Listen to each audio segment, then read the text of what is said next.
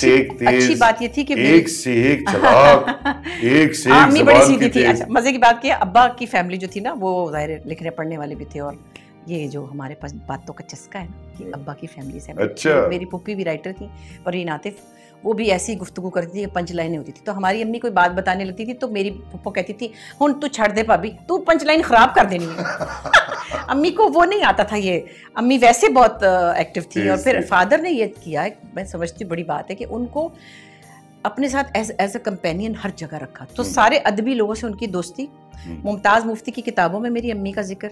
इबन इनशा इंशा उनके personal friend मतलब अब्बा ने उनको ये नहीं कहा कि तुम पढ़ी लिखी नहीं हो या मैट्रिक पास हो या घर में रहो।